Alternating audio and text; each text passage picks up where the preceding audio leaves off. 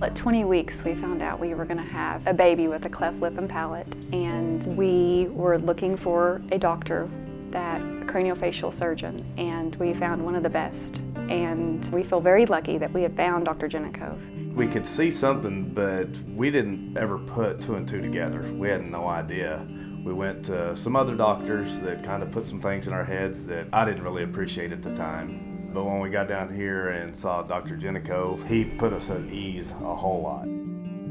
Fortunately for us today, 80% of the patients we see with a cleft lip and palate are diagnosed on ultrasound around 20 weeks. So we get to see the patients before they're really patients. We get to talk to the mom and the dad and really begin the education process at 20 weeks gestation as opposed to two weeks after the baby's born.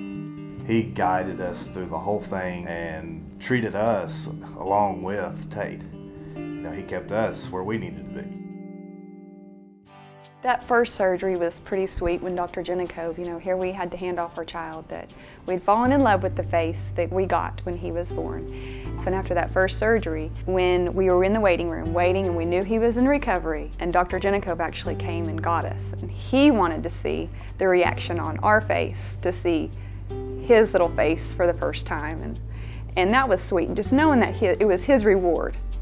Tate's a normal kid. He's got a big brother that he fights with all the time. He goes to school, he runs around, he chases everything else he can chase, and he's a wonderful, sweet kid.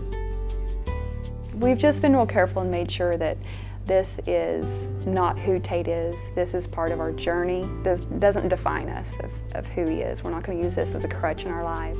We are using it as an experience to make us a better family and a closer family and Dr. Genecov and his office have uh, made this for a rotten situation the best experience I think we possibly could have had.